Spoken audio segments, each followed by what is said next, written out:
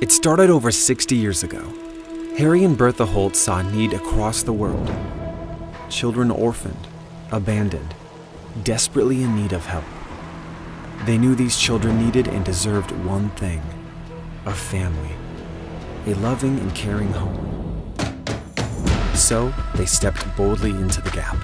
Harry got on a plane to begin that work, and Bertha started making phone calls, tirelessly lobbying the seats of government, because at that time that's what they were called to do.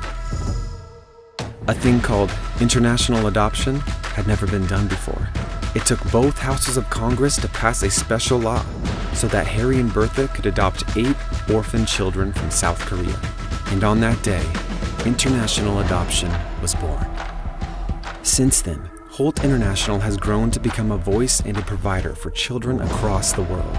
At our core is the same belief of our founders that every child deserves a loving and secure home. Through the decades, we've brought tens of thousands of children home through international adoption and in country adoption, and kept countless numbers of families at risk together where they live around the world, solving a crisis for a child before it ever begins. We are Holt International. We've been stepping into the gap for children for over 60 years, and we're just getting started.